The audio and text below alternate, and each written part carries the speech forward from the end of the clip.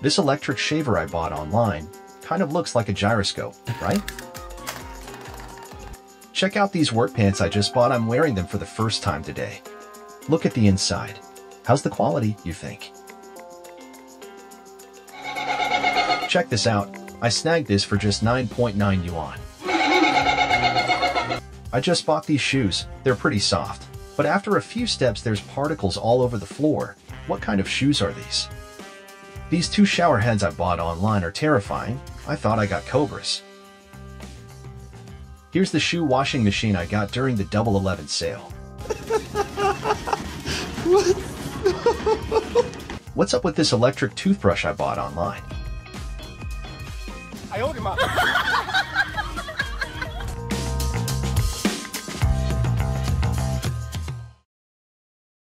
The Double Eleven Shopping Festival in China is renowned for its enticing low prices and a vast array of product choices, with consumers seeking value for their money. However, the reality often falls short of expectations. Following Double Eleven, numerous users took to social media to share their experiences of being enticed by low prices, only to end up with substandard and counterfeit products. Look at this online shoe seller claims fake for triple refund. I bought a pair and they sent me four. How do you figure that? Are they real or fake? See, four pairs? Are these jeans made of paper or what? I went out fine this morning, but look at these pants now. I bought it online. The seller said not for 390, not for 290, but just 99 yuan. Boom, look at this quality. Wow, I've always dreamed of owning a pair like this, so exquisite. Does anyone know which AJ model this is? Look at these stitches, this Jumpman logo. Wait, that doesn't look like Jordan. What brand is this? China, already recognized as a hub for imitation products, witnesses its market inundated with various fake goods. The surge in online shopping has further expanded the market for these counterfeits.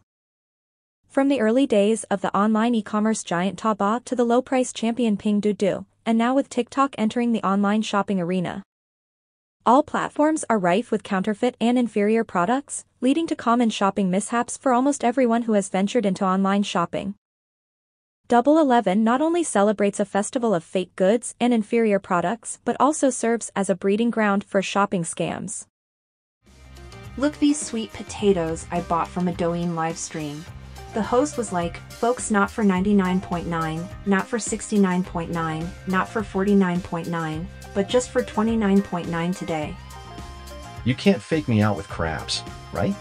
I bought 2.5 kilograms of large mitten crabs. They're indeed heavy. Wow, a scam. Only one. And it's fake.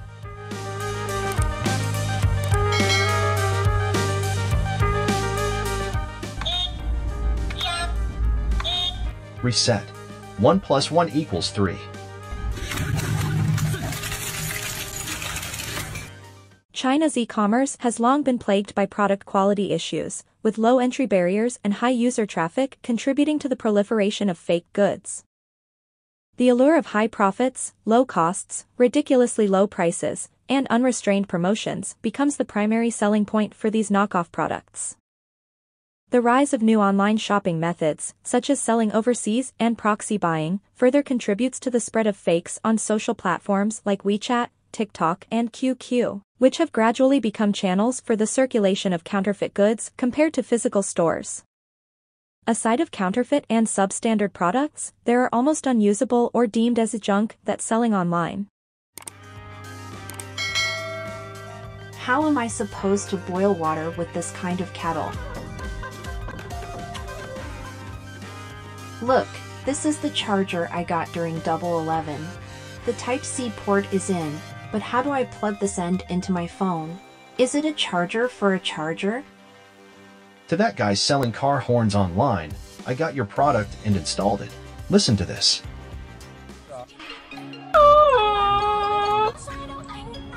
Ah. Every year on March 15th, Consumer Rights Day sees the Chinese government symbolically cracking down on counterfeits.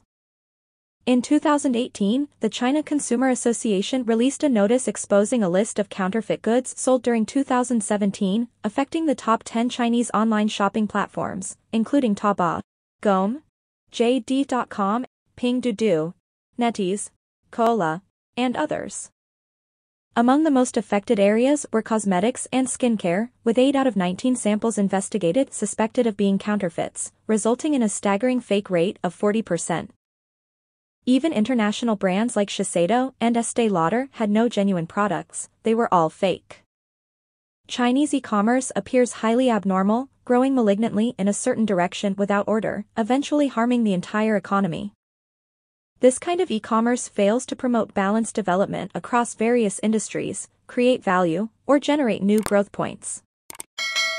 Instead, it devours other shares of the market, leading to a collective demise in the end.